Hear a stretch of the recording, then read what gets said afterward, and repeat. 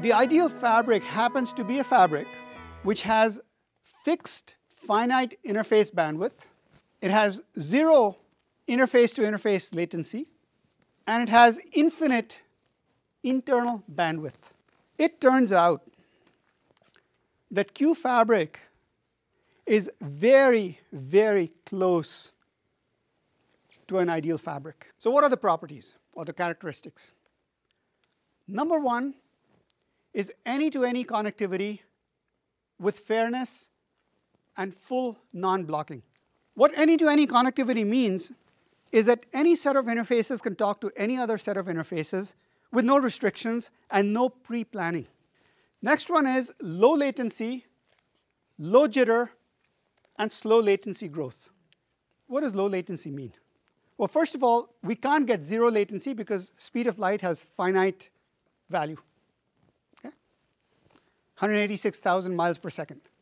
Very fast, but still finite. And at the speeds we're talking about, you end up with some non-zero latency. Low jitter. What's this jitter term?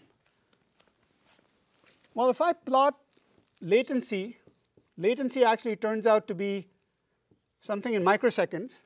If the latency is a few microseconds, it's obviously going to vary a little bit from packet to packet. What we're saying is that the variation is really small. Let's put a number 2 microseconds. What is slow latency growth referring to? It grows very, very slowly as I grow the number of interfaces to tens of thousands of interfaces and beyond. What does QFabric do? It maintains a nice low latency, which is growing slowly, slowly, slowly. And as you get closer and closer to saturation, which is completely filling up the entire massive bandwidth of QFabric, now the latency starts to take off. And this is unavoidable given the laws of physics. Third characteristic is no drop under congestion. When I have a congested interface, typically in Ethernet networks, and in IP networks,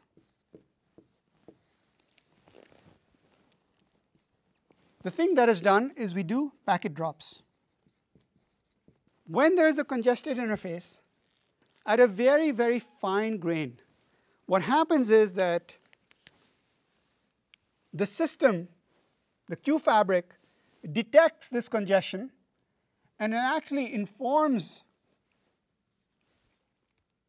these ingress interfaces continuously and smoothly to slow down so that the sum of their bandwidths do not exceed the available bandwidth. That's no drop under congestion. Linear cost and power scaling. We are talking all the time about large-scale data centers and data centers that you'll have to increase the number of total number of interfaces as you add more computers and servers and disk drives. And because you have finite amount of power and finite amount of dollars in your pocket, you can't scale the data center very far. So in order to be able to scale, if I have limited resources, like dollars or power, this property of linearity is actually very, very nice to have. The next property is called virtual networks and services. Now, obviously, if I have a data center where two competing organizations um, are using the same infrastructure, you want to enforce non-leakage of data. You want to enforce some protection. So the requirement of multi-tenancy forces you to have the ability to carve out my resources into pools of various shapes and notice that these pools uh, include resources outside QFabric. It includes the servers, the storage, the appliances, and the routers that are connected to them. You can have lots and lots of different pools. And fundamentally, virtual layer 2 and layer 3 networks and the provision of services enables multi-tenancy.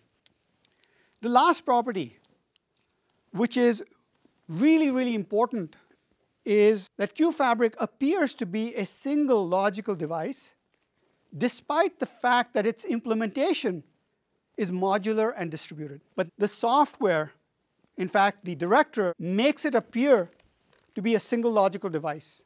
So there you have it, six defining characteristics of QFabric. And again, I want to emphasize the point that with these defining characteristics, QFabric comes incredibly close to the ideal fabric.